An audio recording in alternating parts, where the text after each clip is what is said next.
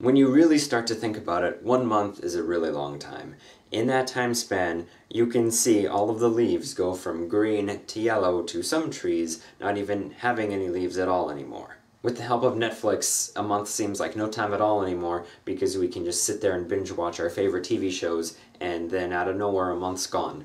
In the time that passes through the course of a month, you can get a promotion at the job that you've been working at for eight years. And that throws you for a loop because you've had the same two days off in a row for the last two to three, four years even, and it's something completely new. Something else completely new is immersing yourself in a video game series that you've been meaning to immerse yourself in for years, but you've just never gotten around to it. I finally decided to immerse myself into Kingdom Hearts, and oh boy, did I ever immerse myself into those games. I immersed myself so much into those games that I basically did nothing else with my days off except play those games because I wanted to try and finish them as quickly as possible.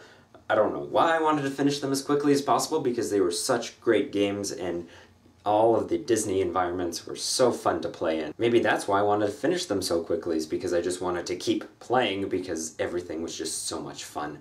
I didn't finish them 100%, but I finished them as much 100% like as I wanted to, and that's all that I could have really asked for. I even went as far as to watch the cinematic sequences of the two games in between Kingdom Hearts 1 and Kingdom Hearts 2, just so that I could have a fuller understanding of what I was getting into when I played Kingdom Hearts 2. How did anyone play Kingdom Hearts 2 without any of the knowledge that comes from 358 over two days? That was such a helpful experience, and I knew so much going into Kingdom Hearts 2. Not doing something for a month also helps you realize just how much you miss something that you love to do if you don't do it for that long, even if you felt like you were burnt out during that period. Not even necessarily just burnt out, it's more like out of ideas that continually happens more often than you want to admit.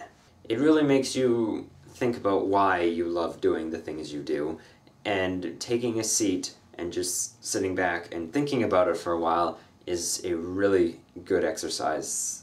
It helps replenish your batteries for lack of a better analogy. Take as much time as you need to figure out whatever you need to figure out because even if one month seems like a very long time right now, essentially because it is, in the long term, it's not a long time at all.